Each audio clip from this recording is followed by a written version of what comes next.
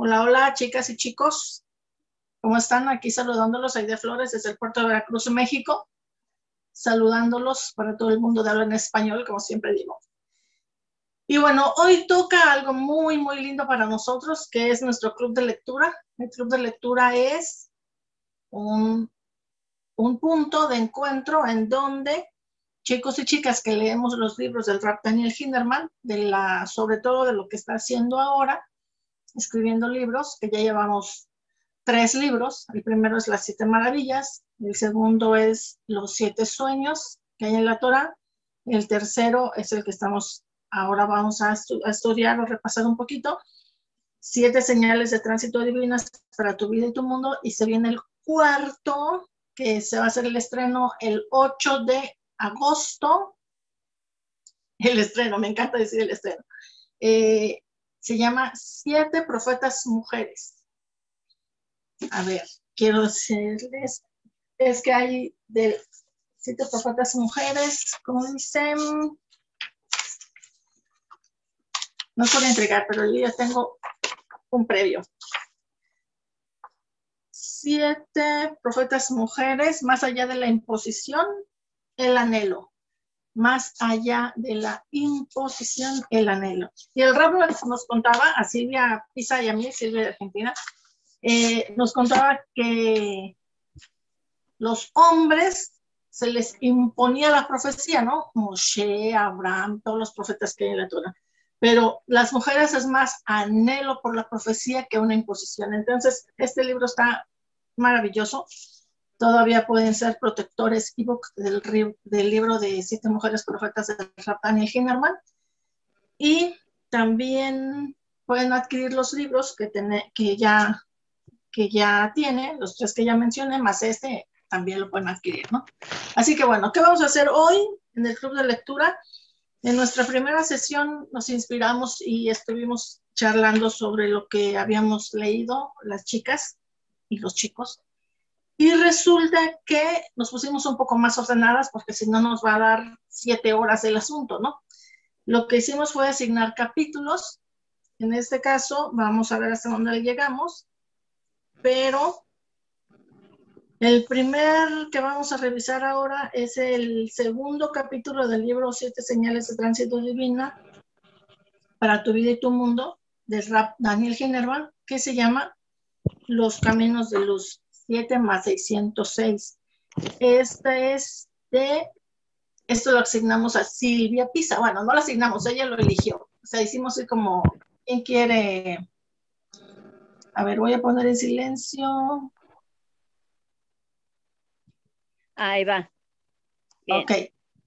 Y entonces, Silvia Pisa va a empezar a comentar el capítulo 2 de nuestro precioso libro Siete señales de tránsito divinas. Adelante, querida. Gracias, gracias, amiga. Bien, eh, de este capítulo dice Caminos de Luz 7 más 606. Eh, y si comenzamos a leer, vamos a ver que en realidad hay una explicación incluso eh, al comienzo de todo sobre el título también. los caminos de luz 7 más 606 los siete que estamos tratando nosotros tienen que ver con los siete que fueron asignados a todos, a todos, a todos desde el comienzo, comienzo, comienzo. Y hay 606 que les fueron asignados específicamente, ¿no? Como explica acá, eh, a través de, de la Torah al pueblo de Israel específicamente. Por eso ellos tienen 613. O sea, fíjense que no es que estos siete, lo que me, di cuenta ahora, es que yo estaba creída que estos siete eran como para todos, pero los todos excluidos de, Israel, ¿verdad? Que no son judíos. Eh, con, este, con esto que estaba leyendo me di cuenta que en realidad no. En realidad, estos siete también incluye eh, al pueblo judío. O sea que de verdad que era para todos, todos, toditos. ¿Sí? Entonces, este, ahí suman los 613 que sí tienen como misbot el pueblo judío, ¿sí? Em, y cuando empecé a leer esto de, este capítulo, ¿no? Y me di cuenta de que la, la información, la disponibilidad, la oportunidad de reconexión con el Creador y abandonar la idolatría, en realidad está disponible para todos.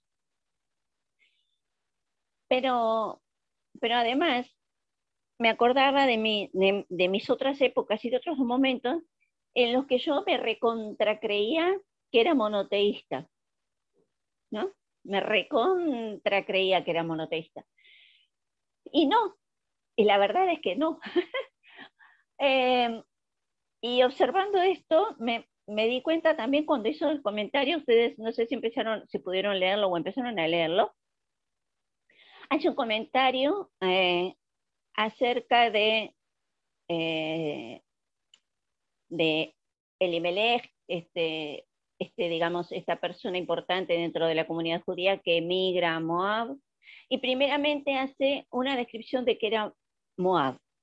Y, y yo les quería agregar algo, algo que, porque lo bueno de esto es que uno empieza a leer y empieza a investigar, ¿no? Como digo, si te pica, rascate. Entonces, digo, bien, ¿de dónde sale la comunidad de Moab? Los moabitas, ¿eh? Y, él, y esto sale, esto surgen de dónde? De los dos hijos que aparecen eh, como hijos de eh, Lot, hijos que tuvo con sus hijas, ¿verdad? Ahí dice. Y Moab era el mayor, que digamos fue el que digamos da origen a, esto, a estos moabitas. Y, en ese momento del, relato, cuando emigra el Imelech, y dicen que después también se entiende que, murió casi inmediatamente, este, esta persona tan importante de la aristocracia judía, y quedan solas su mujer y sus nueras, porque van muriendo, y una de ellas, que es Ruth elige quedarse, mientras que Oprah elige volver con los moabitas. Y ahí me surgió una pregunta. Las dos tenían oportunidad, una, cuestión, las dos tuvieron oportunidad de ingresar o de retornar o de continuar dentro del, del, pueblo hebreo. O sea, tenía la oportunidad de irse. Noemí se debe a irse. Y Ruth decide irse y sin embargo Oprah decide volver con los moabitas. Y al final de todo, Rav Hinnerman coloca unos números, ¿no? Estos 606, estos 606 que ya venían impregnados en el nombre de Ruth, como como si fuese una especie de designio, ¿no? Como que ya traía una impregnación de que ella iba a tener una pertenencia o una, eh, como adherir, como bien dijo después, ¿no? A las leyes, al Dios, a las costumbres de los hebreos. Y me quedó abierta la, pregunta de que si se lo ofrecieron también a, a Oprah, ¿qué era? que no tenía esa impregnación en su esencia, que no supo aprovechar la oportunidad. ¿Qué fue? ¿No? O sea, me, o sea, está bien, eligió, eligió la idolatría, ¿no? Eligió volver a los, con la comunidad Moab. Eh, pero me surgió eso, ¿no? el hecho de que nosotros estemos acá en busca, como diríamos, de la luz, en busca del monoteísmo, en busca de conocer realmente el creador o acercarnos un poco mejor desde el monoteísmo real, es algo que teníamos como, podría decirse como destino, es una oportunidad que surgió y elegimos. Eh, bueno, eso fue alguna de las cosas que me surgieron. Eh, y por otro lado, mm, me surgió otra cosa, que en este capítulo se habla exactamente de una conversión. Eso sería la primera conversión al judaísmo, ¿no? La de Ruth. Muy simple, y, eso también lo explica Hinderman, ¿no? Ella dijo, tomo la ley, tomo las, normas, tomo, o sea, tomo, simplemente lo tomo. Es un decreto realmente de, de tomar eso para sí misma digamos, sin mucha, sin mucha ceremonia y sin mucha cosa, ¿no? Y, y, qué importante es eso cuando nosotros tal vez hacemos esa misma afirmación para nosotros, cuando realmente queremos eh, estar en el monoteísmo real. Y dije, me resonó eso, ¿no? Dije, claro, o sea, tomo, tomo eso para mí, tomo eso para mí porque por elección. En este caso por elección, pero me sigue quedando picando la pregunta de, ¿es por elección? ¿Es por destino? ¿Es por impregnación? ¿Por qué, ¿Por qué lo elegí? Si bien podía no haberlo elegido. Así que en este capítulo principalmente me queda, me queda resonando esto, que tenemos la oportunidad, o sea, yo lo, lo vi así, tenemos una oportunidad, aparece la oportunidad en nuestra vida. Algunos lo toman, otros no lo toman. Pero este último pasaje me deja la sensación de que tal vez no solo es que tomamos una decisión del todo, sería una decisión casi predecible. No sé, se los tiro así, se los dejo picando a ustedes también, pero en ese momento me quedó esa cosa así, ¿no? Este, que hace que alguien lo tome y alguien no lo tome. Cuando, se fue, cuando fue ofrecido a ambas, ¿no? Porque veamos que se lo ofreció a ambas. Y a ambas les dijo, no que vengan, a ambas les dijo, sigan su vida por, por su ruta, vayan a su antigua vida, vuelvan a su antigua vida. Eh, y sin embargo, una dijo que no, le dijo que sí. No, eh, nada. Dime, Irene, vos querías. Eh, Fíjate que con las sincronías, ¿no? Ayer estaba platicando con una persona y me estaba diciendo algo así como que Total que todos los caminos llevan a, Dios, ¿no? Me estaba diciendo así que bueno, que total que todos los caminos. Y así, así me dijo, ¿no? Así me dijo, bueno, que total que todos los caminos llevan a Dios. Y yo, no, no, espérate, espérate. Espérate tantito, ponle pausa. ponle pausa. Hagamos una pausa. hagamos una pausa. Espérate tantito. No es lo mismo un tipo, una tipa que se está aplicando en, en cumplir de base, los siete preceptos del Noah, ¿no? Que estamos hablando, las siete señales de tránsito divina, que como decía Anita y Zulema en el, en el encuentro anterior, no nada más son siete, sino se van desmarañando en más, ¿no? No es lo mismo eso, o no es lo mismo el, el pueblo judío, ¿no? O los hebreos que, que cumplen muchas veces al 99.9% las 613 misbot, no es lo mismo que uno que ni se entera que existen, ¿no? O no, que anda por la vida así como si nada, o sea, no es lo mismo. y me dice, y, me, le digo, espérate, espérate, no es lo mismo. Digo, además, me dice, no, no, no, pero si Dios hizo todas las cosas, le digo, sí, está bien, yo creo que sí, y estoy totalmente convencida que el eterno creador hizo todo. También hizo el guajinón, así que entonces le puede tocar el guajinón, porque estaba hablando de, a dónde se va cuando se muere, si todos de todas maneras van a llegar al mismo lado, ¿no? Le digo, sí, pero no, sí, pero no. No es lo mismo, hasta nosotros lo hacemos como hijos, ¿no? Tienes dos hijos o tres hijos y resulta que uno le dices, tráeme esto, y el hijo va, lo hace muy amable, muy a gusto, y el otro pone su cara, o sea, tu actitud hacia el hijo no va a ser igual. Entonces, si bien los dos son tus hijos, si bien los dos tú los creaste, pero no son lo mismo, o sea, no nos confundamos. Esa historia de que, ay, todos somos iguales, es muy romántica, pero no es verdad. No. Y el, el este de, me recordaste, ¿sabes qué también? Con el tema de, vámonos un poquito profundo, el tema de que cada alma proviene de una sefirá, ¿no? Que es ya sabes. Entonces depende de la raíz de tu alma.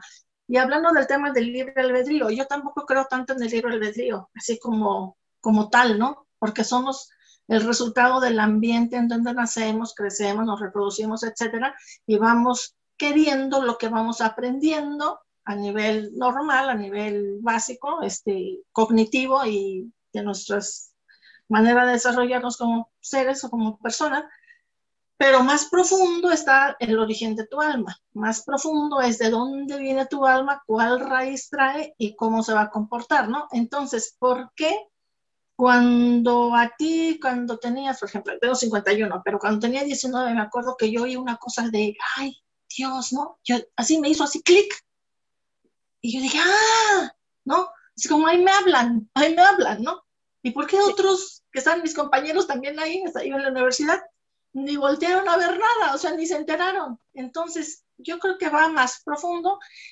Eh, desde mi perspectiva, claro, ¿eh? es un club de lectura, no estamos dando clase ni mucho menos. a lo mejor nos equivocamos y decimos una barbaridad y el rap nos corregirá después, pero el tema es este. Creo que también tiene que ver con el, con el origen del alma, la, la raíz del alma.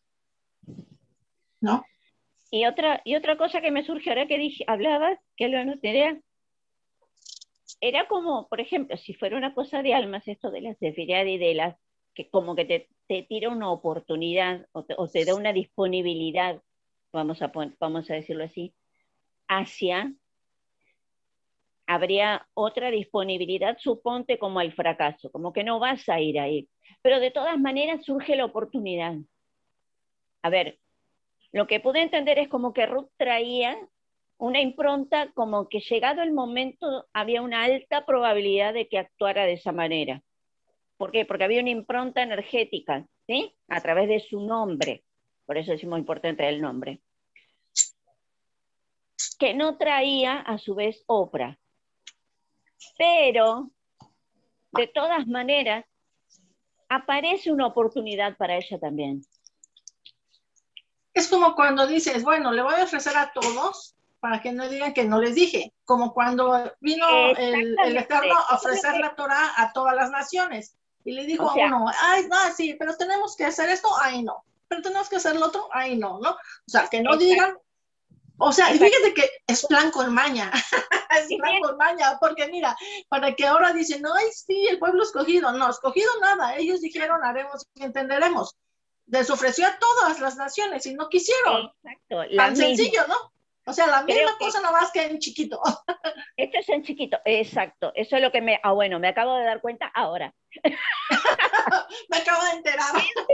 moment, en este preciso instante me acabo de dar cuenta de eso. O sea que la oportunidad, si bien hay una, una disposición, una predisposición, una tendencia, podríamos decir, también tenemos esta otra opción de, de, oportunidad. Quiero decir que como que las oportunidades existen, ¿no? Como que las posibilidades existen más allá tal vez hasta del merecimiento. Hay una oportunidad para todos esto es lo que me, mm, o sea, me, doy, me estoy dando cuenta ahora.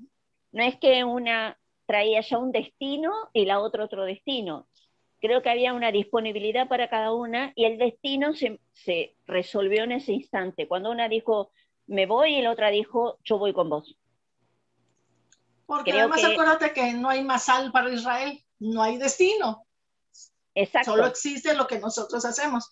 A ver, Monse, si quieres habilitar tu micro, con mucho gusto. Eh, perdón, ya iba a hablar. Uh, hola, hola a todos. Uh, yo, yo, estoy de acuerdo eh, con lo que Silvia, me parece, Vía, aquí pone Vía, ¿no? Es, eh, Silvia, Silvia, Silvia, Silvia decía, pero hay almas que creo que no vienen aún, no están preparadas. Las almas venimos a aprender.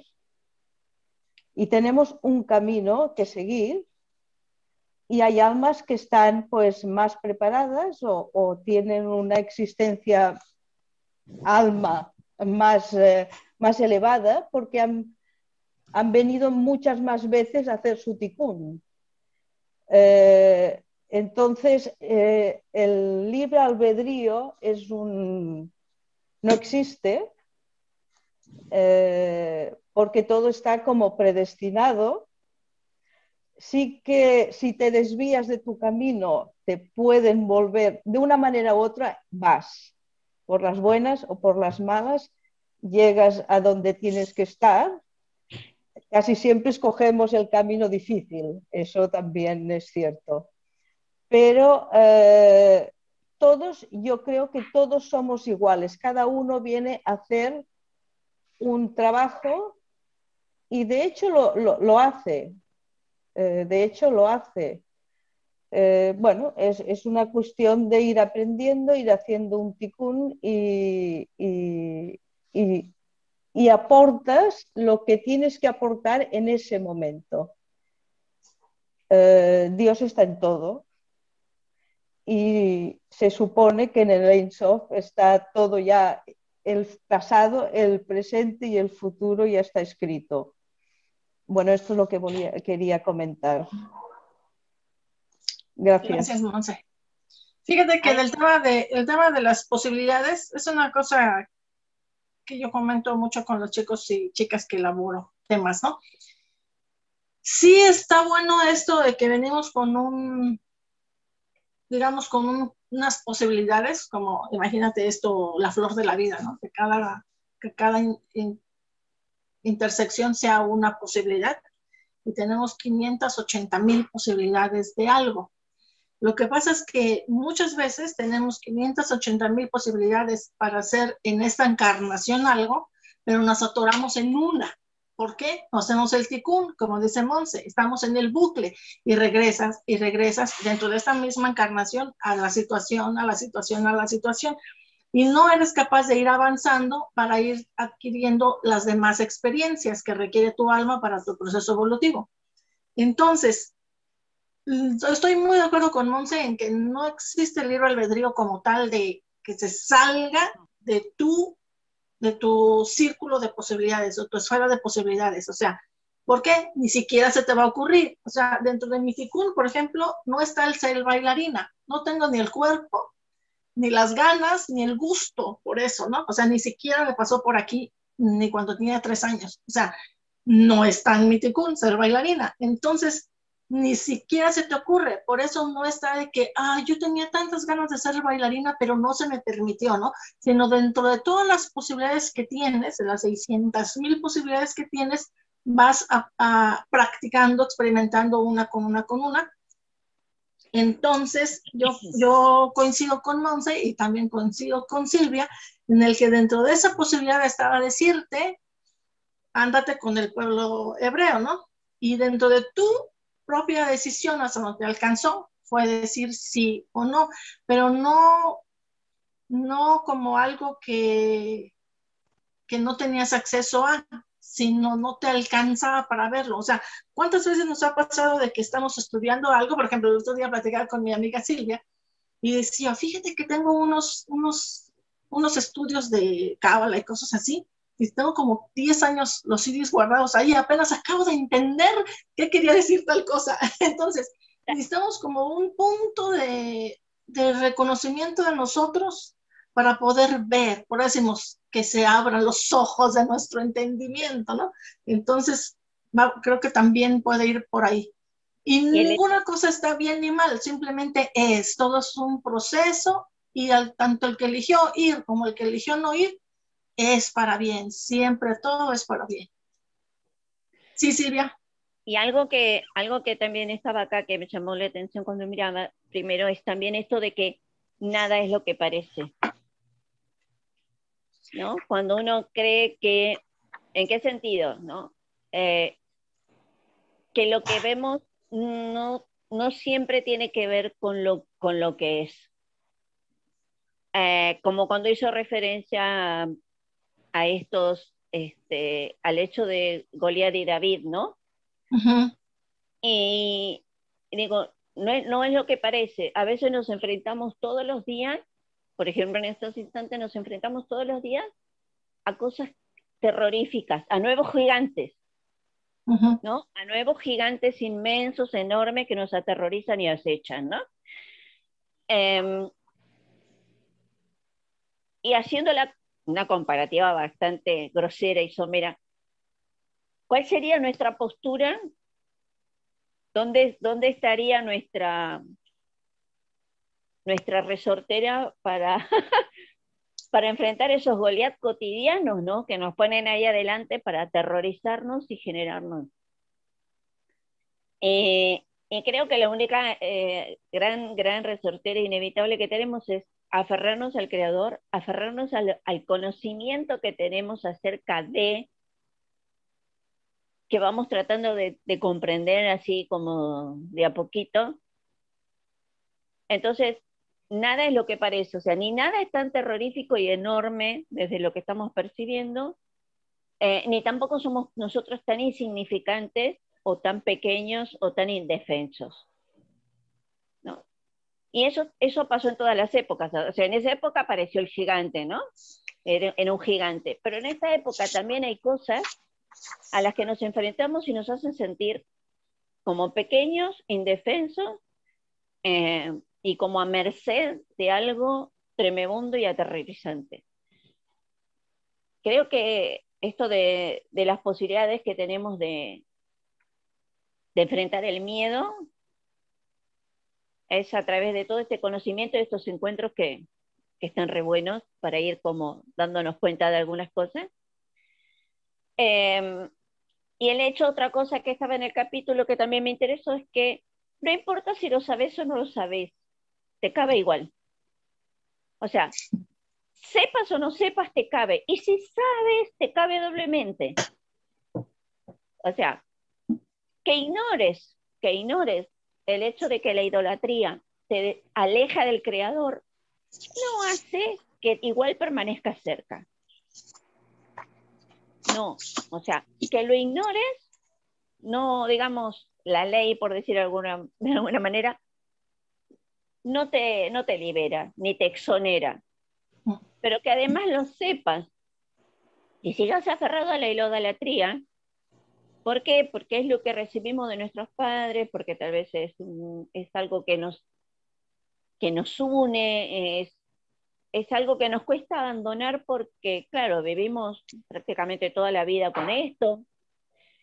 Eh, eh, tomar esas decisiones son bien fuertes, porque tiene que ver incluso no solo con, con una cuestión de conciencia de habernos dado cuenta de algo, sino que además a veces nos enfrenta a cortar con tradiciones y con costumbres que traemos de generaciones lejos. Y a veces eso hasta también asusta, porque decir, bueno, abandono todo esto y ahora qué me queda? Me queda todo esto otro. no, no, hay que aprender que no es que nos quedamos en banda, porque también esto es importante.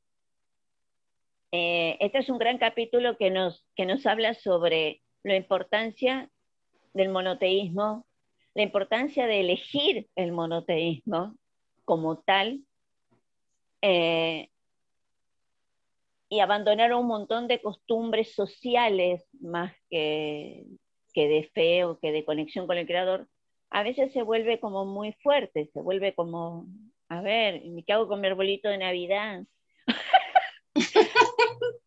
¿No?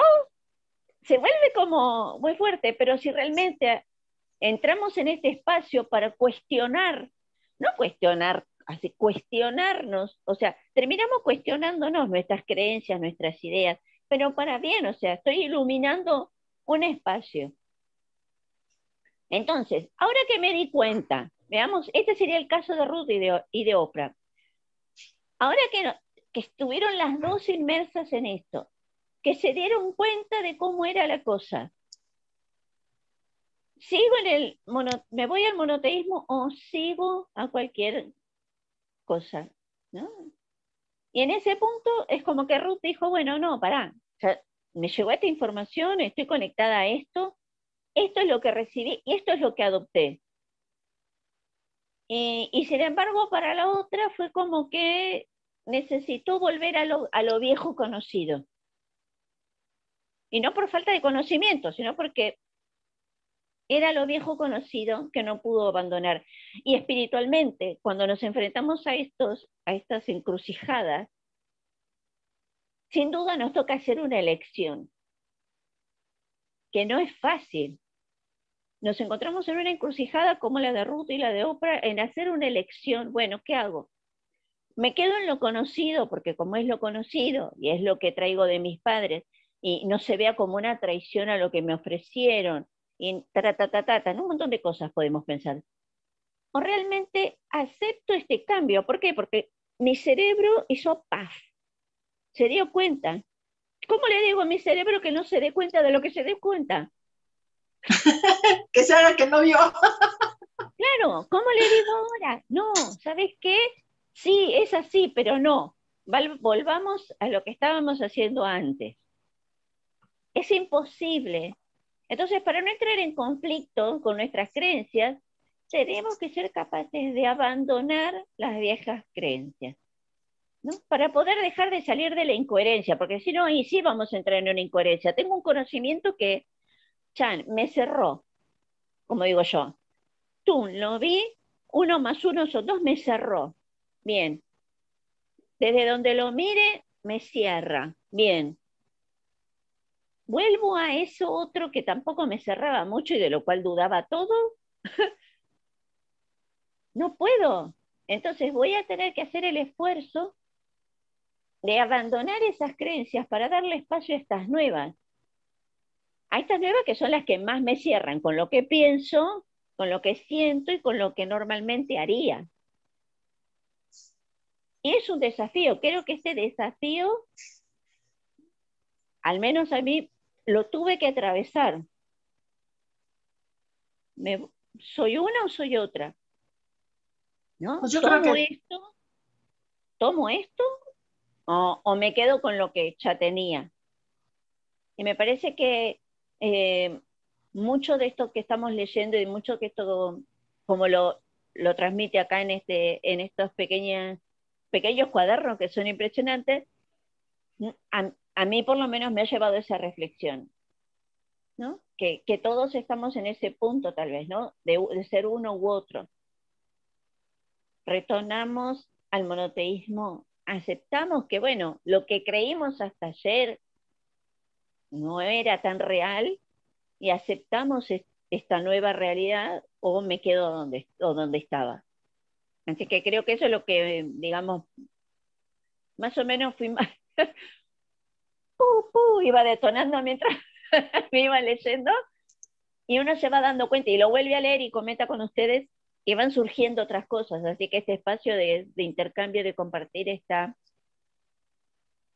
súper enriquecedor para, para continuarlo. Así que buenísima idea, buenísima idea, Irene.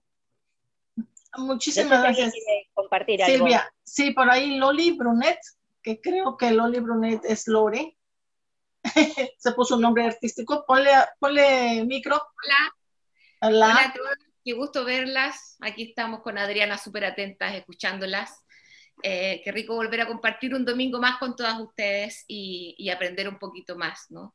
Ah, yo estoy en varias cositas de acuerdo eh, con Silvia y en algunas no estoy tan de acuerdo o no entiendo o, lo veo de forma diferente. Montserrat, eh, creo que fue Montserrat en algún minuto que hizo un comentario eh, que me pareció muy, muy interesante, que, que, quizás como de la forma que yo lo veo también un poco, es que yo creo que el alma, ¿cierto?, viene a vivir determinadas vivencias para poder en cada una de sus encarnaciones llegar eh, en algún minuto, ¿cierto?, a, volver al uno, que es volver a Dios, volver a encontrarse nuevamente con Él. Pero para eso creo que es un largo camino de las almas. Entonces, cuando, eh, y que tiene que ver con los aprendizajes, porque, eh, ¿qué pasa con estas dos hermanas? Claro, a una le hizo sentido, ¿no? encontrarse con este único Dios, porque seguramente ya su alma tenía la experiencia que a lo mejor su hermana no había tenido, de vivir lo que era, cierto, la idolatría y pasar por procesos diferentes. Porque si un alma no los vive o no los pasa, eh, no se puede hacer carne el aprendizaje, entiendo yo. ¿no? Entonces, creo que no, no es, no, podemos decir que una opción u otra es, está bien o está mal, porque finalmente creo yo que depende del aprendizaje que tiene es, esa ese ser en esta tierra. Porque si yo eh, veo, por ejemplo, y, ¿sabes por qué lo estaba pensando mientras escuchaba también a, Silvia? Pensaba en por qué estoy yo aquí. Yo nunca he participado de ninguna religión, eh, entendí lo que eran los salmos hace poquito porque Aide me lo mostró, o sea, totalmente ignorante. Pero, pero ¿por qué estoy aquí? Es porque algo resonó en mi ADN, en mi alma, porque también está el ADN, pero que también están nuestros ancestros, están nuestros, está, o sea, hay mucha información que no solamente trae el alma, sino que también está como lo que dice el, nuestro cuerpo, ¿cierto? Nuestro ADN, nuestras, nuestras eh, vidas pasadas, eh, ancestros que nos han entregado tanta información también y tantos bloqueos que tenemos que tratar de limpiar también, ¿cierto? Para seguir avanzando. Entonces, eh, pienso que, que cada uno, y yo en este minuto estoy aquí porque algo resonó, porque pude haber golpeado otro tipo de puertas que quizás las golpeé, pero no resonó ni en mi alma, ni en mi eco, ni en mi interior, eh, y esto resonó y por eso estoy acá. Entonces puede que a, a Oprah, Oprah eh, le haya pasado que en realidad no fue que ella decidió quizás hacerse la tonta o decir, es que de esto, no, sino que simplemente nunca le resonó en su interior, en su célula, en su ADN, dijo, este es el camino, como sí lo dijo su hermana, parece que me voy por aquí porque esto tiene el sentido y me completa. A lo mejor ella, la hermana, dijo en realidad, esta cuestión, o sea, como que no le encuentro más sentido, a lo mejor es más bonito prenderle vela a todos los otros eh, dioses, o...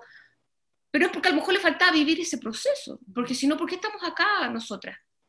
Eh, que, no, es un poco lo que quería plantear. Y desde esa perspectiva, creo que eh, las elecciones, si bien es cierto, también creo que el libre retiro no existe, pero así hacemos elecciones y las elecciones tienen que ver con qué nos hace sentido Ahora, si realmente me hace sentido ser monoteísta y seguir a un solo Dios y me hago la tonta, en realidad eso, o, como se dice en Chile, o, lo ignoro, es porque ya es una decisión personal de no hacerse cargo de algo que uno sabe. Y creo que eso es otra dimensión eh, del tema. Eh, es, como, es como no hacerse responsable y no asumir eh, algo que te lo está diciendo tu célula, tu cuerpo, tu sentido, tu mente, etc. Ah, no sé si me quedo o expliqué lo que pensé. Me entendieron lo que le quise plantear. Gracias, Lore. Muy bueno, muy bueno. Fíjate que escuchándote, me recordé algo que dicen los sabios, que mira, ¿qué diferencia hay entre uno que vino por toda la idolatría, estuvo en lo más este, profundo de la clipa, dicen en la cábala, ¿no? Y de ahí, desde esa profundidad de la clipa, surge su decisión y como dice, si le resuena de irme por este lado, ¿no? Del monoteísmo, de la luz, etc.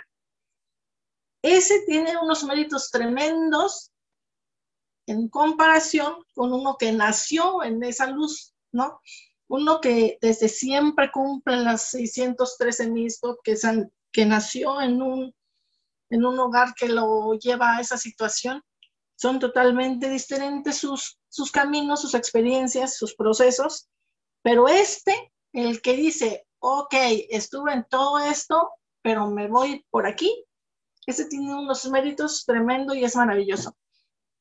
Y estoy totalmente de acuerdo también con lo que dice Lore, porque una de las cosas que tiene la Torá o el pueblo hebreo es que no hace proselitismo, o sea, no anda ahí por la vida, anda, vente por aquí, vente por aquí, vente por aquí, no es proselitista. El que resuene, bien, y el que no resuene, también. Todo es para bien y cada uno dentro de su proceso. Así que muchas gracias, Lore. Y ya tenemos 40 minutos en el, en el número 2, en, un, en un punto. Vamos a avanzar con el número 3, que es 70 en lo grande, en lo pequeño, en lo profundo y en cómo se lo explica. Esto lo va a comentar nuestra queridísima Adriana, que está por ahí con Lore también.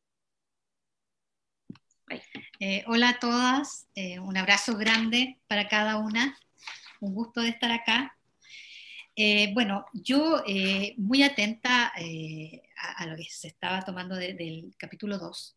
Yo, yo, voy a empezar y voy a tomar el último texto del capítulo 3 que tiene mucho sentido con el que estamos hablando recién, que, que es este capítulo 3 nos invita a hacer un viaje, a remover, la, remover cascadas y hojarascos que nos han colocado en la conciencia ya con respecto a lo que decía Aide Lore, de, que tenemos la información, la traemos desde hace mucho tiempo, no, sabemos cuánto, yo por lo menos, además de alguien sabrá cuántas reencarnaciones o cuántas vidas ha tenido, pero, esto no, nos dice, nos, está diciendo esto, para dice conciencia, para hallar la sencillez última tras los velos de lo complejo. Qué increíble, ya, porque esto no es fácil también porque se nos pusieron estos velitos así como para, para, borrarnos lo, lo, que teníamos. ¿Por qué? Eso ya es otro tema, pero, pero te das cuenta, entonces hoy día, a medida que podemos, nos vamos sacando, nos va develando la, la vida, lo, lo, que necesitamos hoy día, ¿ya? Y para hallar abierto en ti un camino hacia el chalón. Y esto lo encuentro maravilloso, esta última, este, este párrafo me hizo mucho sentido. Después voy a tomarlo al principio, pero que, no, esto, de ese viaje para hallar en mí, dentro de mí, nuestro, cada uno con nuestro chalón. Qué importante. ¿Y qué nos dice al principio este capítulo? Dice 70 en lo grande, en lo pequeño, en lo profundo y cómo se lo aplica. ¿Ya? Acá, eh, acá habla de, la historia de Moisés, ¿verdad? Que, que saca al pueblo de, Egipto, que lo acompaña por 40 años, y que Moisés tiene la misión de, escribir eh, la Torá, y le dice que tiene que hacerlo en 70 lenguas, 70 piedras, y que tiene que ver, y, y revela mucho la numerología yo no me voy a tener mucho la hay, hay, unos una suma que se hace yo yo no me manejo para nada pues, pues, yo soy súper honesta hablo desde la ignorancia. He ido captando de a poquitito este último tiempo porque Lorena la ilumina con los números, pero, pero, pero yo, yo, yo siento que lo entiendo, pero me es muy difícil porque tengo que estudiar más, tengo que tener más información. pero, pero esta, esta, esta de la Torah, y me acordaba de su lema, eh, que la clase, la, la reunión anterior, ella, yo dije, uy, dije, el, el, otro libro del Raf, Daniel, no lo pude entender porque hay muchas metáforas, yo, yo no tengo cabeza, esto no es para mí, pero, pero ¿sabes qué? Su lema, me, me, llegaste aquí a la cabecita cuando, y lo he leído varias veces este capítulo, ¿ah? porque lo leo y cada vez aprendo otra cosa, porque es increíble. Lo lee, puede estar todo un año leyendo y siempre va a sacar del mismo capítulo enseñanza, y lo encuentro maravilloso. Entonces, su lema decía, era lleno de metáforas, y aquí dice, la Torah está con metáforas. Entonces, también habla de, de, alguna, de alguna manera, no lo dice con estas palabras, son mis palabras, pero lo que yo entiendo es que también nos da, nos da a conocer de nuestra pequeñez, de nuestra limitación, ¿verdad? Y, y, y, y yo creo que todos internamente somos maravillosos, grandes, pero ¿qué nos hace lo, lo, difícil el camino, como bien dice Aide, de que de repente nuestros temores, nuestras inseguridades, nuestros complejos, nuestra vivencia que hemos tenido cada uno en nuestro país, en nuestra cultura, porque aquí habemos de varios países, entonces como lindo también, te fijas en lo que nos ha tocado vivir a cada uno, pero, pero, pero la Torah es maravillosa, es un regalo tan grande, inmenso de Dios, y, se dice, y que se aplica, se, estudia e interpreta y aplica por diversidad de caminos. ¿Te fijas? Y qué es lo que estamos hablando recién, es como darle vuelta de otra manera a, lo que decía Ide, Lorena y Ana, o Silvia, Silvia, las confundo, Silvia, ¿verdad? Que en el fondo hay diferentes caminos, hay, uno, hay unos caminos que van más... Eh, con un, con un, tranco más rápido, otros corremos, otros vienen más, yo digo más iluminado, más power, y otros más lentitos, una tortuguita poquito, poquito. Es como lo que nos toca vivir en esto, ¿verdad? Y, eso lo encuentro maravilloso. Yo, yo me maravillo de, de, la riqueza de, de todo esto. Eh, yo antes de que nos conectáramos, comentábamos con, yo le comentaba, comentábamos con Lorena un poco de los capítulos, y yo decía, Lore, ¿sabes qué?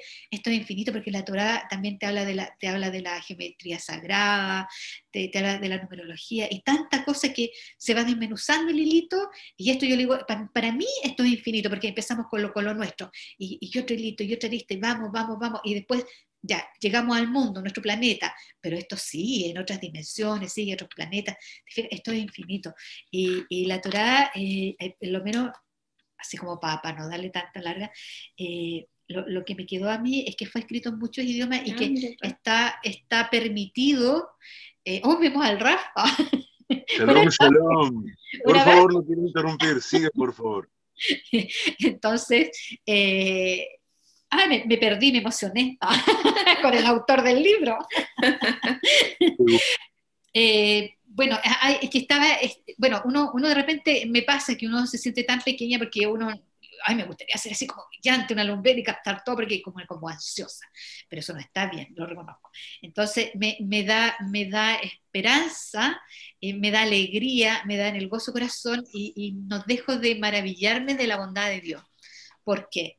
Porque Él, de, para todos nos escribió esto, nos dejó la Torá y, también a, a, que he leído un poquito más, que han sido iluminados, iluminados y, espero, no decirlo con, harto cariño y respeto, que son personas que obviamente tienen, tienen, tienen así como la, la, lucecita aquí, la ampolletita, y, que pueden interpretar y que nos pueden traducir para nosotros que algunas personas igual están más avanzadas y tienen la capacidad de poder entenderlo. Otros nos cuesta un poquito más, pero, pero hoy día yo me quedo tranquila porque que eh, con, lo, que me toca eh, está bien. También llegué a esa conclusión, porque de repente como uno, como, como uno es como, como muy curiosa y, y, como corre y a hacer muchas cosas a la vez, entonces esto, en esta etapa me gusta porque me invita a pausearme. Es decir, sabes que está todo dado, el conocimiento es para todos por igual, pero, pero en mi reflexión cada uno a su tiempo. Y, y me quedo, eh, Rafa, no sé si te has escuchado, pero lo, lo, maravilloso. quiero terminar, quiero terminar porque tampoco me quiero explayar tanto, porque si doy espacio a otra que dice que, eh, vuelvo a repetir, para hallar la sencillez última tras los velos de lo complejo, para hallar abierto ante mí un camino hacia el shalom, conmigo mismo, con tu mundo y con lo divino que te rodea por doquier. ¡Qué maravilla! ¿Sabes qué? Esto yo he estado pegada un par de días, porque, porque, porque uno empieza así como, como los cabros chicos, ¿verdad? Y cuando escucho esto me, da una cosa y, y como me, y lo que pasa es que yo tengo mucha imaginación y me, me lleva a un espacio maravilloso lleno de luz, de, de, de, una brisa suave de verano, perfumada. Ah, no sé, me pasa algo muy especial. Me enamoré de esta frase. Este Así que eso sería mi aporte, chicas. Maru Hashem, muchas gracias, muchas gracias. Me encantó lo que dijo Adriana de el rap, lee un poquito más. un poquito. Bienvenido, rap, Daniel Hinderman. Sorpresa, chicas. Eh, no les había dicho, pero ahí está el rap. Shalom, shalom a todos. Qué gusto, qué gusto y qué honor enorme estar en un foro como este. No, no, no hay, yo, yo tengo que hacer un paréntesis ya, porque no, no hay en realidad una diferencia sustancial entre nadie y nadie más. Hay caminos de vida y hay, y hay misiones específicas que venimos a cumplir bajo circunstancias específicas que venimos a, a, a tratarnos con ellas en nuestro pasaje por este mundo que es una suerte de Matrix, es una suerte de representación de lo que somos en tanto alma, en tanto conciencia. Entonces, eh, no, pobre, pobre del que se granjea, del que se enorgullece de, lo que sabe o, de lo que le he dado a aprender, eh, porque son regalos, son regalos para cumplir misiones, son regalos que te tornan responsable. A mí el móvil que me ha llevado los últimos 18, 19 años a dedicarme a lo que me dedico, es, eh, es expresar gratitud por lo que me has dado a aprender. Entender que si el creador me regala entender cosas es porque las tengo que enseñar, las tengo que pasar adelante. Así que es eso, y, y, no podía perderme, digo, tuve que correr mucho para llegar a tiempo acá, pero no, no, no, no, no podía perderme esto porque lo que ustedes están haciendo en realidad va mucho más allá de los libros que yo pueda escribir. Casi que yo, yo podría estar escribiendo libros para que ustedes hagan esto. Y el objetivo real es lo que están haciendo ustedes. Es como, es, es como la Torah oral que desarrolla la Torah escrita. Eh, cuando ustedes, digo, no hay, no hay sueño mayor al que puedan aspirar mis letras que el hecho de que, de que ustedes estén personificando de esta manera.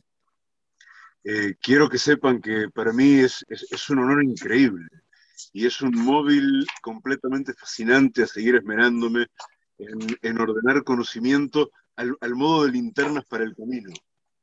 Protéjame a Shem de decirle a nadie qué es lo que tiene que hacer, pero sostengo la linterna lo mejor que puedo. Y a veces hago un poco de trampa iluminando con la linterna un poco más para acá, o un poco más para allá, este, para facilitar un poco las cosas, pero, pero es solo sostener la linterna El camino lo diseña cada quien con esa materia prima. Y, no se me ocurriría un modo más bello en que eso ocurra que lo que están haciendo ustedes. Gracias de todo corazón. Eh, tuve, tuve, que jugar una suerte de, de, calecita de argumentos con Aide hasta llegar al punto en que ella misma me dijo, bueno, Rab, está bien, puede ponerlo público para todo el mundo. Y a mí me parecía completamente inadmisible que el que tuviera sed de entender qué hacer con la Torá se perdiera lo que están haciendo ustedes. Este, de modo que, bueno, eso, felicísimo. No les quiero molestar mucho más. Este, de mi parte, todo gratitud y todo bendición. Muchísimas gracias. Muchas gracias, Rap. La emoción. Gracias, Rap. Le honro, Rap, le honro. Es un placer escucharlo. Es recíproco. Te aseguro que es recíproco. bueno, chicas, gracias, gracias. Seguimos con, a ver si el rap puede escuchar un poquito. El rap se queda dos minutos más y después me voy. Sí, gracias, rap. Eh, Patricia Camargo, no te asustes al sal rap, no te vas a hacer examen ni nada. Yo entré en pánico. Yo le dije a Rap, le dije, es que no les voy a decir porque es como cuando va el maestro y dices, ay, está el maestro, qué miedo, a ver, voy a decir una tontera, ¿no? Pero no, tranquila, tú respira profundo, todo para bien. y vamos. Sí, también antes era como tener este nervio de, pues porque también soy primeriza de de estar conociendo todo esto. Y a mí me maravilla, me maravilla todo esto. Y he resonado desde el primer momento que te conocí. Y bueno, con Silvia pues también, ¿no? En las charlas que han tenido. Y cuando presentaron lo del libro, pues más. Cada vez ha sido más y más este, de ver de esta sabiduría, ¿no? Y me encanta. Y me encanta también el tema que, que me escogió, porque yo lo escogí, pues ya eran los que quedaban, pero me encantó porque habla precisamente de, de, la, de mi película favorita. Entonces yo digo, bueno, la vi quién sabe cuántas veces y me sorprendió porque, bueno, sí sabía que tenía antecedentes o de otras este, tradiciones, ¿no? Pero cuando cuando menciona que tiene estas, eh, que está inspirado en las alegorías básicas de la Kabbalah, fue así, Lo, entiendo o lo siento así, ¿no? Porque para mí fue esa película como detonante también de, de muchos despertares, de dar cuenta de, de esta realidad simulada también es lo que comenta el rap.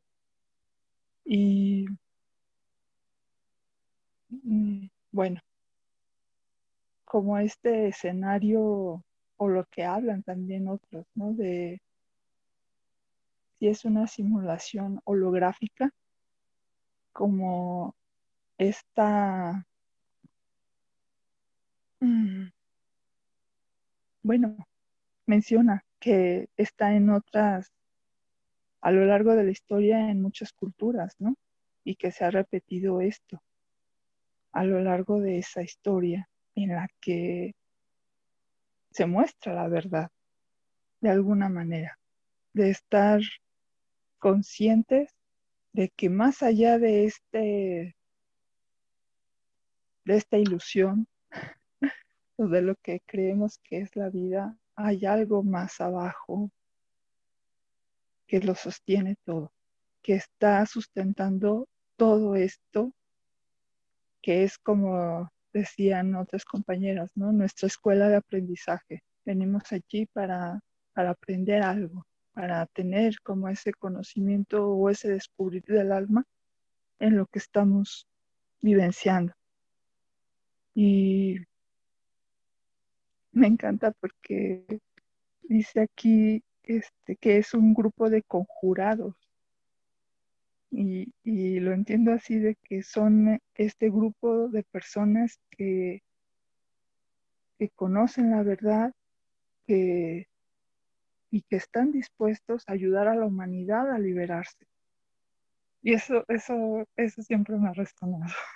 Eso ha sido como que mi, mi, mi, mi añoranza también, mi anhelo, ¿no? De participar en eso.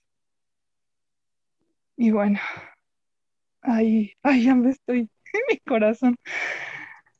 Respira profundo. Sí. Todo es para bien. Bueno, que también habla aquí, ¿no? De que en este grupo pues siempre va a haber un traidor nato, ¿no? Y lo conocemos también en otras culturas. En que este hombre pequeño, a lo que me imagino o siento que se refiere a que, pues sí, lo que mencionabas, no le da para más, ¿no? De estar tan imbuido en, en, en el mundo material o en el mundo de los sentidos y que él acude a este grupo de conjurados solo por ese instinto de, enamorarse, ¿no? De, Trinity, bueno, aquí no lo menciona el rap, pero en la película me acuerdo de eso, ¿no?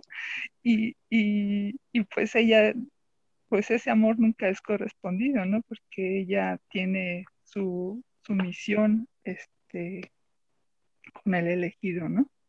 Y bueno, eh, en esta escena que también comenta el rap, ¿no? De que están en un restaurante eh, este traidor se pone en contacto con, uno de aquellos que está en el control del sistema de, esta, pues sí, de este sistema de mentira, de ilusión. Y, le dice, me acuerdo, y, y sí lo menciona, de que este traidor dice, este, sé que esta carne o que este vino es una ilusión, pero qué, qué rico sabe. Y yo así como que,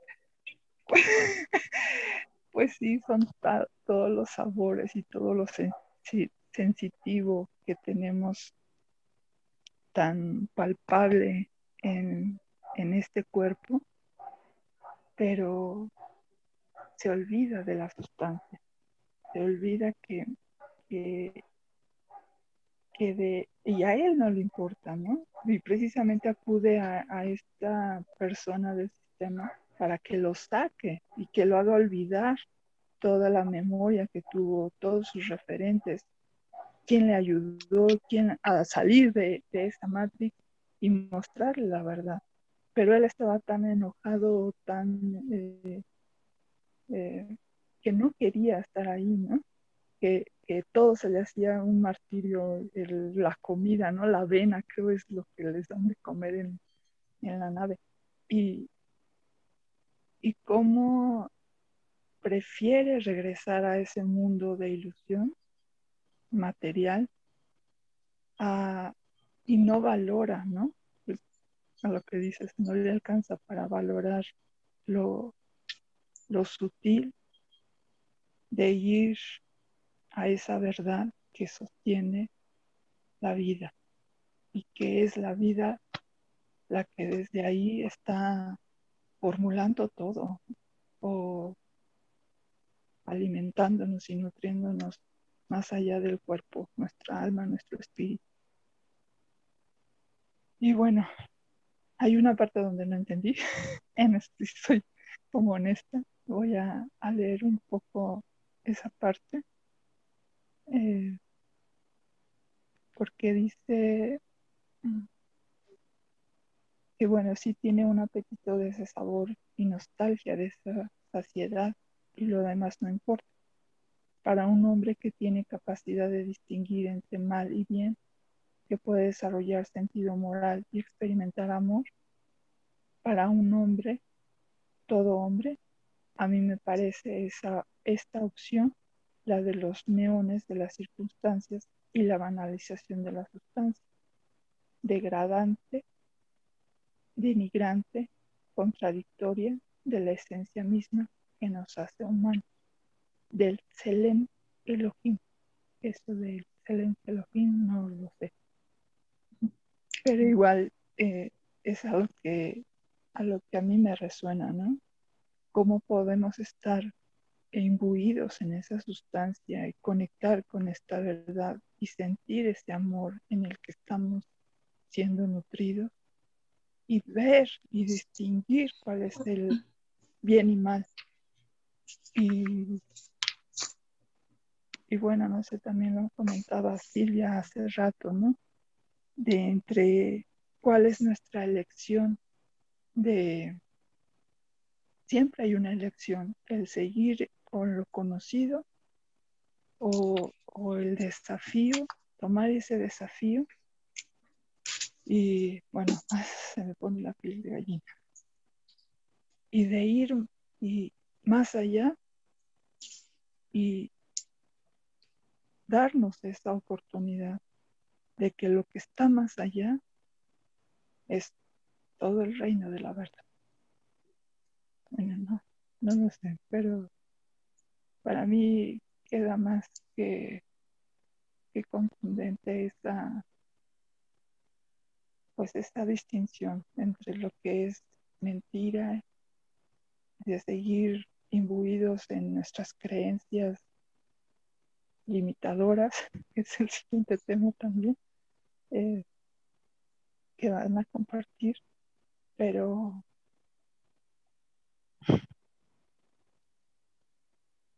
pues es de cómo la verdad siempre va a estar ahí para nosotros en esa esencia divina que, se alberga así en esto más profundo, en lo que comenta. Y que,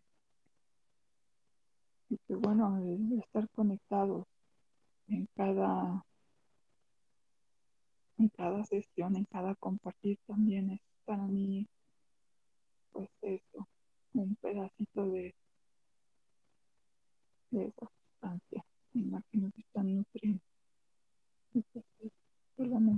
Muchas gracias. Baruch Hashem. ¿Quiero comentar algo, Raf? Estoy maravillado.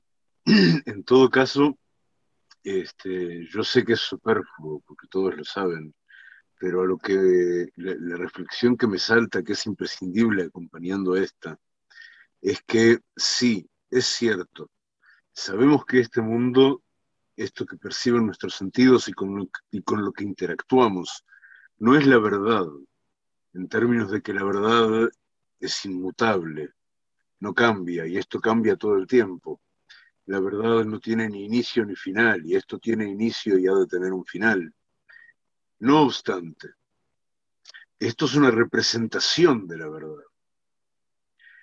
El mundo entero, la, la creación toda, de alguna manera, representa esa verdad que estamos buscando todo el tiempo y que la tenemos codificada adentro, pero vinimos acá para trabajarla afuera. Vinimos al mundo de la acción no para contemplar y comprender, sino para, sobre todo, además de contemplar, comprender por medio de la acción. Eh, comprender cuál es el camino que nos va a llevar rectamente a donde queremos llegar y emprenderlo sabiendo que vamos a entender en el camino, que es cuando vamos a conseguir las herramientas para entenderlo. Este, me parece fundamental hacernos acordar eso a cada rato, porque cuando uno, cuando, uno entra en, ese éxtasis tan dulce, en una medida u otra, de, de, la teofanía, de la revelación, del decir, ¿cómo no me di cuenta hasta ahora que las cosas en realidad son tan sencillas y que el mismo modelo se repite por doquier y, lo demás es chapa y pintura, pero en realidad todo funciona igual. ¿Cómo no me di cuenta hasta ahora? Y uno se maravilla y se queda en estado extático, este, porque todo es una absoluta belleza y todo es bien. Pero lo que pasa es que no vinimos acá a ponernos en estado extático. Vinimos acá a meter las manos en la tierra. Y, y esa tierra convertirla en lo que representa. Hacer de la tierra eso sagrado que cultivamos adentro. Convertir todo en sagrado. Agarrar cada cosa, cada recurso que viene a nuestras manos, cada herramienta con que contamos, cada oportunidad de interacción con el prójimo y convertirlo en una experiencia espiritual, en una experiencia de crecimiento, en una experiencia en la que, en la que imitamos las cualidades del Creador, a cuya semejanza nos creó. En fin, creo que se trata de eso, sé que lo sabéis, este, pero era la, era la reflexión que me parecía urgente. A veces tengo miedo de no decirlo lo suficientemente fuerte en todos los textos también, y entonces uno pueda caer en, lo que yo no espero que suceda, que es ese éxtasis tan bonito y tan dulce, pero que tiene que ser pasajero, tiene que ser la golosina del camino. Este, pero el camino en sí no es eso, el camino en sí es lo que hacemos con nuestro tiempo, lo que hacemos con nuestras herramientas, en quienes nos convertimos con cada paso que damos adelante. Gracias, gracias, es tan maravilloso ser parte de esto. Si los libros que estoy escribiendo fueran solamente para que esto sea posible, estaría bárbaro. Este, estaría muy bien. Es una experiencia fantástica. Gracias. No las molesto más. Me voy a trabajar, no, voy a hacer una cosa, no, te les robo un minuto más, porque tengo que contarles que estoy, estoy tan emocionado con el libro que estoy en sus fases finales en este día, eh, el libro de las siete mujeres profetas, me ha abierto a mí la necesidad de escribir sobre ellas, me ha abierto a mí tantos canales de conocimiento que no conocía. Qué maravilla, pero ya hay mucho más que eso. Ya estamos, estamos terminando con Juldá, que es la penúltima. Y, en cada una, en cada una encontramos secretos tan maravillosos. Y en el conjunto de las siete, esto es la, cereza arriba de la torta que no esperaba. Yo siempre, cuando uno estudia la, la Torah oral, lo que se llama, todas las explicaciones, todo el Talmud, todos los Midrashim, todo lo que escribieron los exégetas hasta dos mil años atrás, cuando todavía había templo de Jerusalén e inmediatamente su destrucción en Babilonia. Eh, todo el Talmud está lleno de textos que, si tú lo miras desde un ángulo determinado, te hacen guiños todo el tiempo.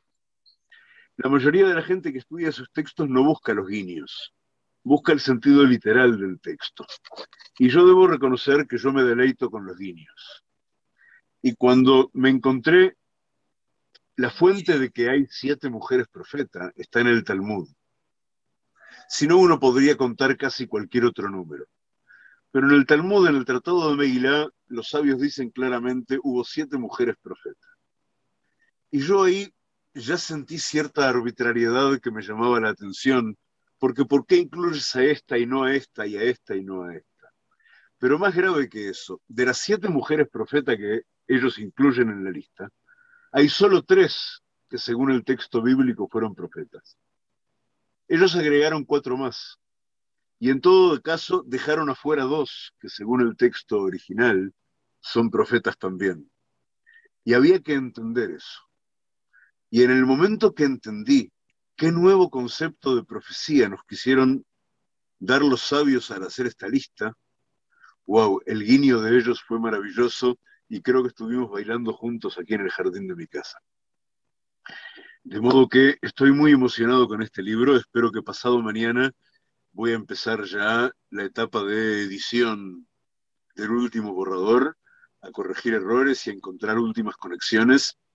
Eh, este libro tiene un récord de notas al pie, de notas referenciales, tiene cerca de 100 notas referenciales, una de ellas tiene como una página y media, eh, y creo que son todas muy sabrosas, y todas abren caminos a la investigación, al descubrimiento eh, de mucho más.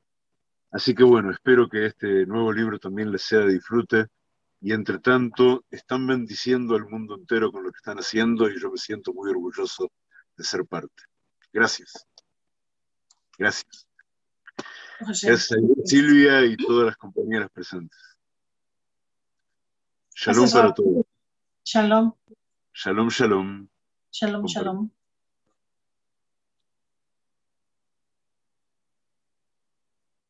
Bueno, chicas, entonces, muchas gracias, Pati. Muchas gracias por tu comentario. Fíjate que hablando de, el asunto de la Matrix y todo eso, ¿no? Tenemos cinco sentidos que son los que nos dieron a partir de cómo está conformado la estructura del ser humano, ¿no? Tenemos el sentido del oído, del olfato, del gusto, de la vista, del tacto. ¿Me falta uno? No, bueno. Todos estos son sentidos para percibir lo externo, ¿se dan cuenta? Todos esos sentidos son para que podamos ver lo externo. El asunto es que de pronto nos pusimos a ver tanto afuera que nos olvidamos de adentro. Entonces, cuando nos pasan estas cosas de darte cuenta que todo es una ilusión, y una vez leí a alguno de los sabios que decía, creo que el Rab Nachman de Breslev decía algo así como, si te conocieras, sabrías que eres Él, hablando del Eterno, ¿no? Si te conocieras, sabrías que eres Él. Y si te conocieras, sabrías que eres Él y sabrías que estás absolutamente solo. Entonces, ¿cómo, cómo, cómo? Pues sí, porque todo lo que hay alrededor en externo, o sea, tus hijos, tu perro, tu cama, todo esto, es una ilusión. Es una ilusión para verte a ti, pero para verte a ti en la divinidad que hay en ti todo se expresa, hasta el traidor de la película Matrix. A mí me encantó, no sé cuál versión sea la de la Matrix, la Matrix en donde Neo y el otro, no recuerdo cuál era el otro nombre, se hacen uno, ¿se acuerdan? No, hombre, estuvo impresionante, porque ahí asumes tu luz y tu oscuridad, asumes que todo es uno en este punto de autoconocimiento. Entonces, este asunto de tus sentidos extrasensoriales o paranormales, dicen algunos, ¿no? Tu oído espiritual, tu ojo espiritual, tu olfato espiritual, tu gusto espiritual, tu tacto espiritual, todo esto es lo que estamos desarrollando por medio de todo lo que hacemos en los estudios de Torah, etcétera. Y no quedarnos en el está muy padre, la verdad, te entiendo a Pati, esa cosa que quedas así como embobado y así como, ay, y sabes qué pasa también un punto en donde dices, ay, ¿para qué sirve la vida? O sea, ¿para qué sirve lo material, no? O sea, ¿para qué estamos ya? O sea, ya casi, casi, este, lláme, Señor, ¿no? Casi, casi, pero no, porque la única manera que puedes tú alimentar o iluminar tu divinidad es a través del reino, a través del Malhut. Malhut es la décima sefirá, que es el reino y que es en la tierra. Entonces, a través de la experiencia, es como siempre les digo las chicas y chicos, la experiencia es lo que nos hace, los que nos da la luz.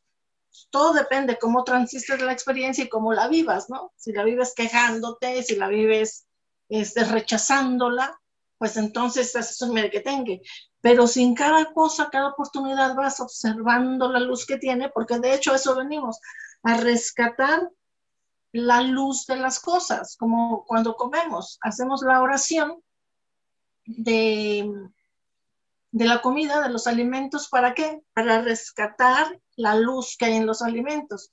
Cuando tú te comes esa manzana, cuando te comes ese elote, no te estás comiendo nada más el, no te estás comiendo así la materia en sí, en tu cuerpo, sino que estás comiendo la energía, la esencia, la fuerza vital de la cosa. Me estoy explicando y esa, y esa energía vital es lo que alimenta tu alma. Entonces, bueno, ya saben, sana el alma y el cuerpo la seguirá. No nos vamos a enredar mucho en eso, pero lo que sí digo es que, como una vez el rap, platicando con el rap, decía algo así como, tenemos que hacer sagrada la vida, hacer sagrada lo que haces, ¿no? Por ejemplo, si eres ingeniero, sacraliza o pon sagrado tu ingeniería, haz ingeniería sagrada. Si eres cocinero, haz chef sagrado, o sea, lo que, lo que hagas, hazlo sagrado.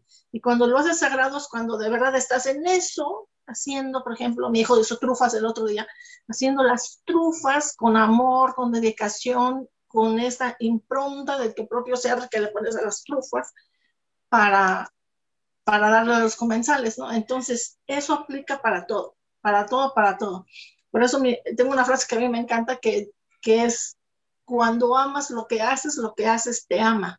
no es como andar buscando como un conejo persiguiendo la zanahoria, sino todo es por resonancia. Entonces, estamos acá para tener experiencias, para hacer sagradas nuestras experiencias, para adquirir luz, para reconocernos y para estar más y más y más en nuestro proceso evolutivo de alma, ¿no? Entonces, muchas gracias a todas las que están y las que son hasta aquí. Llevamos un poquito más de una hora. Vamos a hacer, Liz tuvo que salir, le tocaba el capítulo 5, nos vamos a saltar y vamos a ir con Zule para hacer el capítulo 6, si te parece, Zule, que dice, hagamos de una brújula, hagámonos de una brújula moral. Fin de la primera mitad del cuaderno. Sí, bueno, Adelante. sí, cuenta varias, este, cuenta dos anécdotas que como estamos apuradas no las voy a, contar, si, si te parece que no, este, pero que en realidad... No estamos apuradas, acuérdate que no estamos ah. apuradas, o sea, no estamos ah, bueno. ya apúrate, apúrate, apúrate, no, estamos en nuestro club de lectura, no vamos a hacer seis horas, pero ah, bueno. estamos que lo disfrutes, Zule, que lo disfrutes. Sí, sí. estamos en esta vida, en esta Matrix para disfrutar la experiencia, disfruta la experiencia del club de la lectura. bueno, cuenta acá como un prolegómeno hacia las las siete señales, ¿no? Es como para ponernos en tema, y un tema muy importante, porque cuenta que estaba un rabí, que era el rabí Bruja, que era muy bruca, que era uno de los tantos sabios que había, al cual se le aparecía asiduamente Eliau. Eliau no es más que Pinjas, ¿no es cierto? Hijo de Eliezer, Eliezer, este, y nieto de Aarón, ¿no es cierto? Este Pinjas, y este, se le aparece vestido, o sea, se corporiza y lo lleva, lo conduce a Rabí a varios lugares que van a ser de un aporte eh, de crecimiento para él muy importante. Por ejemplo, lo lleva a un mercado donde hay todos judíos vestidos como tales, ¿no? Y entonces el rabí le pregunta a Eliau, no, Eliau le, dice, aquí no hay ninguno que, haya, que todavía merezca el Edén. El rabí se desorienta porque dice, ni siquiera yo piensa, pero no se anima a decirlo. ¿no? Entonces pasa una persona este, y él le dice, no está vestido como judío, no, usa zapatos de cuero negro, que se ve que ellos no, no usa sombrero, no usa el, manto con flecos en los extremos, que no me acuerdo cómo se llama. este, y bueno, o sea que, ah, bueno, o sea que realmente no tiene una apariencia de ser un hombre de Dios, ¿no? Entonces, este, eh, Pinjas le dice, sí, este hombre tiene ganado el paraíso, o sea, tiene ganado el Edén. Y él piensa, ¿cómo puede ser? Se acerca a él y le pregunta, ¿qué haces tú para tener ganado el Edén? Y él le dice, yo soy carcelero, ¿no? Este, me dedico a cuidar a los, prisioneros y a las prisioneras, eh, los cuido, los controlo para que se respeten unos a otros, y si hay mujeres, para que justamente los hombres sepan que esas mujeres merecen respeto y no deben ser sometidas a ninguna cosa que se les pueda ocurrir. Entonces, este, y cuando veo, le dice este, una mujer que no se sabe defender, yo la protejo y la defiendo. Entonces, este señor, el, el rabí piensa, todavía no sé mucho de él. Sigue indagando y le dice, ¿por qué vas vestido así? Él le explica que va vestido así porque está muy en contacto con el, con el, gobierno y que va a ser ahí, va a controlar eh, que haya justicia y va a tratar de que los que están condenados sin justicia, esos casos fueran, fueran este, vistos, que él vive protegiendo y cuidando que todos los hechos se hagan bajo justicia. Entonces, el rabí se da cuenta y dice, este hombre realmente está imbuido de piedad. Y evidentemente la piedad es algo muy valioso para el creador. Es una virtud que, el creador valora mucho. Bueno, después de eso siguen ¿no? las observaciones y, ven, van por otro camino y ven que hay un grupo de chicos, de jóvenes, que se divierten, están a las risas, y aunque no está escrito, dice Rabacá, se deduce que toman cerveza o que están en esa. Estos también tienen ya ganado el Edén. Pero ¿cómo puede ser estos tipos que están acá sin hacer nada que tengan ganado el Edén? Entonces les dice, va y se acerca y les pregunta, ellos le dicen, sí, nosotros nos encargamos de transmitir la alegría a todo el mundo. Cuando vemos que alguien está deprimido, cuando vemos que hay disturbios entre las personas, tratamos de transmitirle alegría y shalom entre ellos. ¿No? Entonces, justamente, eh, de aquí vamos a la, eh, tal cual a, las, este, a los preceptos, que aquel que da, que tiene piedad hacia los congéneres, que trata de proteger y de aplicar justicia, por supuesto que es agradable a Dios y está en camino de la salvación, ¿no es cierto? Está ya en el camino de la salvación. Y otra cosa que yo observé, para mí, que me parece importante, cómo a veces nos, llevamos por las apariencias y pensamos que tener, estar sujeto a todo lo que es formal, entonces significa que esa persona eh, e, está cerca de Dios. ¿no es cierto? Cuando en realidad a veces no tiene la mínima apariencia y está imbuido de todos los preceptos, los cumple, de la divinidad con Dios, está eh, sintiendo a Dios en sí mismo y lo, lo, transmite en sus acciones, ¿no? Bueno, este, después habla justamente, como esto era un prolegómeno, habla de lo importante que es el seguir, tener en cuenta a estos preceptos, que es una manera en que nos dio el Creador, nos dio siete, pero que en realidad son 613, como decíamos hoy, este, eh, de seguirlas, porque es, nos garantiza la salud en nuestra vida, la salud física y espiritual, y la salud a la comunidad en la cual, con la cual nos manejamos en la cual nos movemos, mejor dicho. No manejamos, nos movemos. bueno, este, y, bueno, y la base, ¿no es cierto?, de estos, de estos preceptos están siendo siempre haciendo referencia, referenciadas, codificadas, organizadas en base a las siete sefirot inferiores, ¿no es cierto? Siete es un número cabalístico. El 7 nací yo también, ¿eh? 7 de agosto. bueno, ese es un chiste acá. bueno, es un 7, el número 7 está muy repetido en la Cábala, es un número este, muy importante. Siete son los océanos, siete son los colores del arco iris, siete son las profundidades de, la, Tierra en este planeta. Este, eh, siete son las notas musicales, ¿no es cierto? Hace siete son los días de la semana y siete años em, em, lleva llegar al, al, Shemitah, ¿no es cierto? ¿Qué es el Shemitah? Es cuando se deja descansar a la tierra y por lo tanto no se recoge nada que a uno lo beneficie económicamente de ella porque no se sembró. Y también son siete Shemitah para llegar a Yobel. ¿Qué es Yobel? Yobel es aquella vez, aquel año que es un, este, donde se prescriben las deudas, ¿no es cierto? Se perdonan este, errores por ahí de connotación eh, social. Bueno, y también, a ver que siete, dice, son las especies vegetales con las que fue este, coronado Israel, ¿no?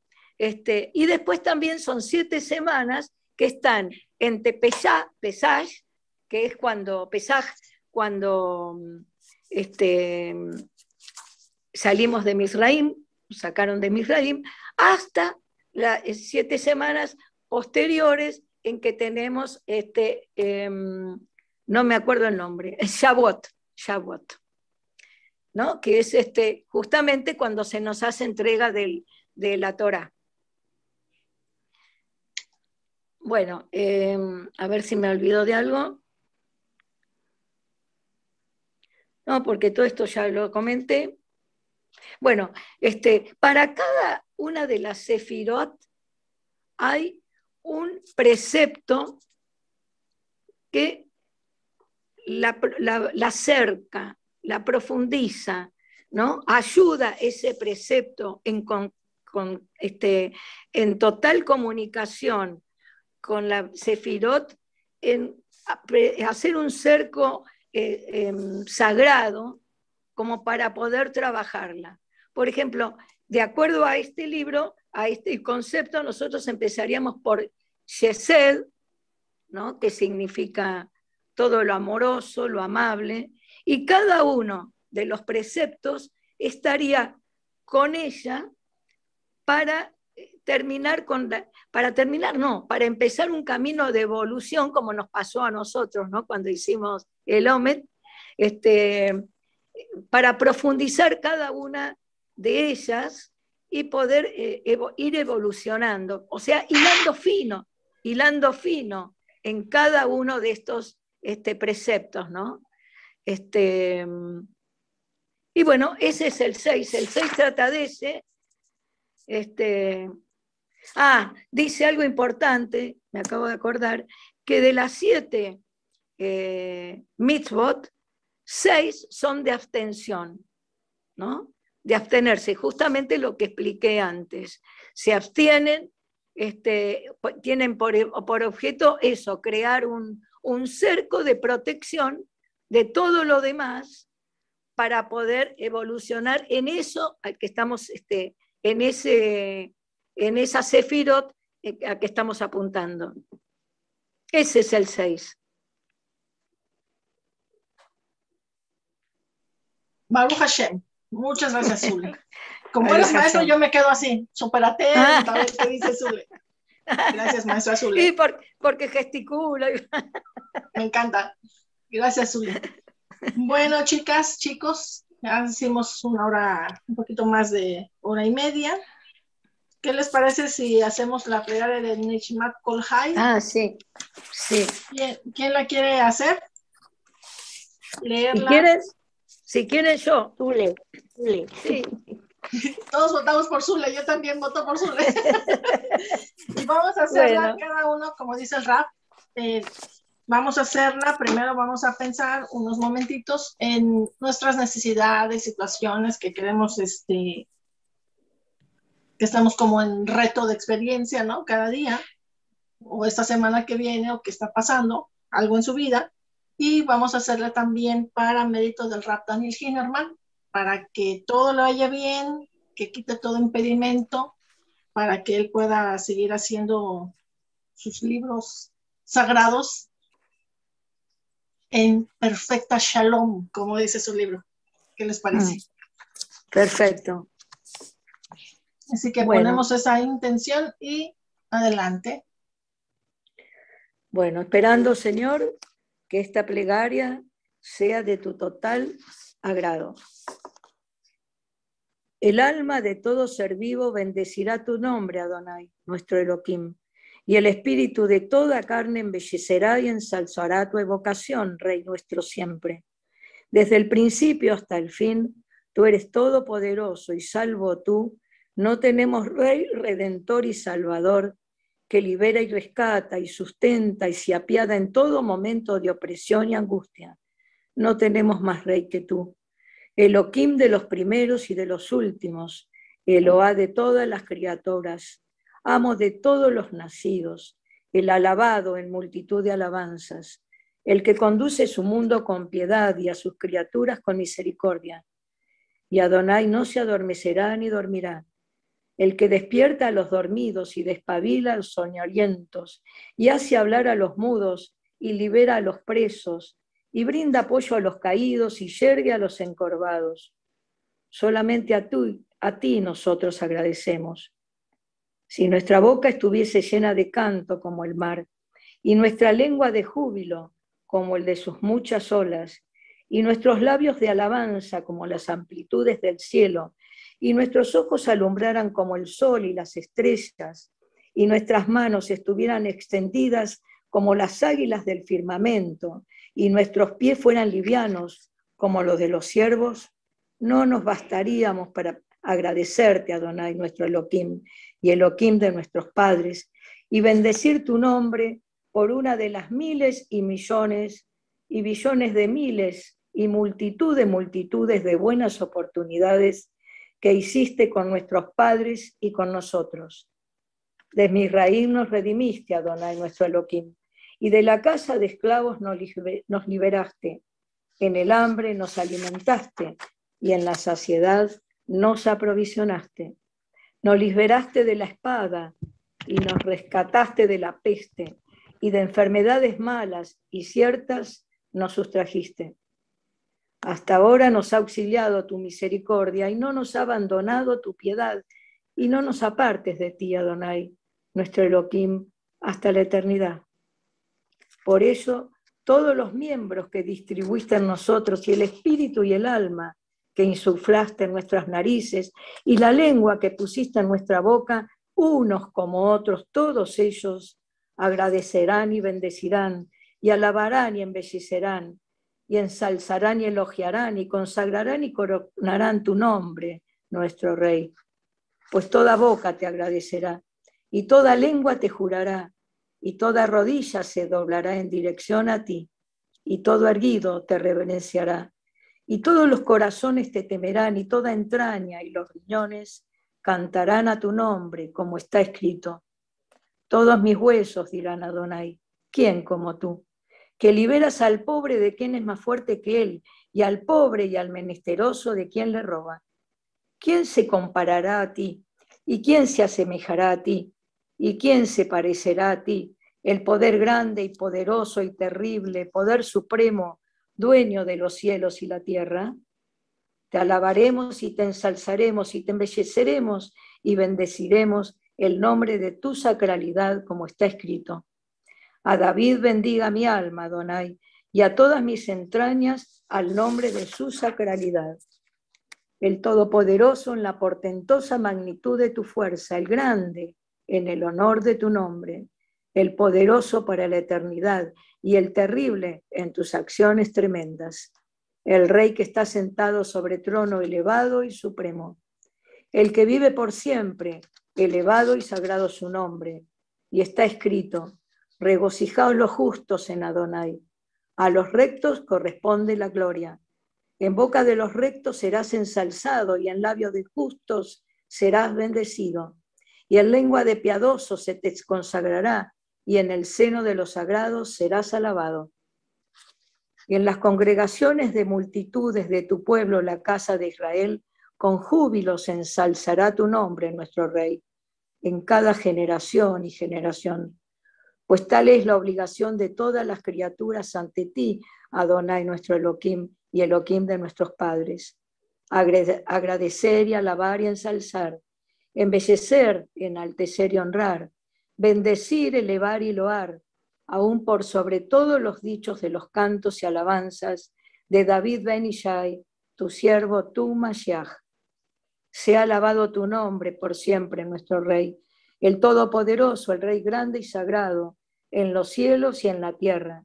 Porque a ti te corresponde, Adonai, nuestro Elohim y Elohim de nuestros padres, canto y loa, salmo y alabanza, fuerza y gobierno, eternidad, grandeza y rigor, gloria y esplendor, sacralidad y reino, bendiciones y agradecimientos desde ahora y en tanto haya mundo Bendito tú, Adonai, Señor Rey grande en las loas, Señor de los agradecimientos, amo de las maravillas, que elige los cantos de alabanza, Rey Señor que da vida a los mundos.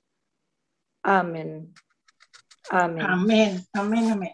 Amén. Bueno, no se vayan, chicas. Vamos a dejar de grabar. Muchas gracias a todos los que están escuchando esta, este club de lecturas del Rab Daniel Hennerman, invitados para nuestro próximo club de lectura para leer la otra parte de, del libro Las siete señales de tránsito divina para tu vida y tu mundo del rap Daniel Hinnerman. Saludándolos Aide Flores y Silvia Pisa. Hasta la vista. Y todas las chicas, obviamente, que están por aquí.